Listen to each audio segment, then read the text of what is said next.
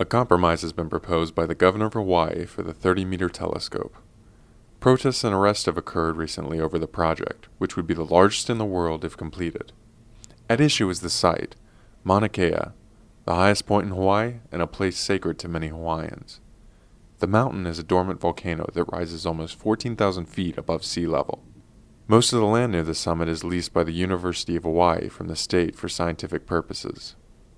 The high altitude and lack of surrounding mountains to create wind turbulence are two of the reasons astronomers like to place telescopes there, of which there are already 13.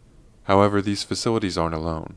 Dozens of shrines also fill the area. There aren't as many around the summit where the telescopes are, but archaeologists believe that is probably because the ground was even more sacred to those who placed the shrines.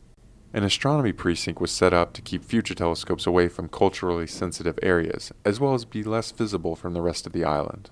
Planners for the TMT held community meetings and spoke with native Hawaiians about the project, which led to a site 2,300 feet below the summit.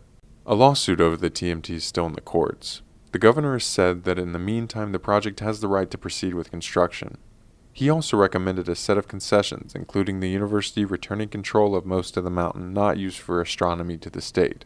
He also said that 25% of the telescope should be removed by the time the TMT is completed. One telescope is already scheduled to be removed, but others would have to be decided upon.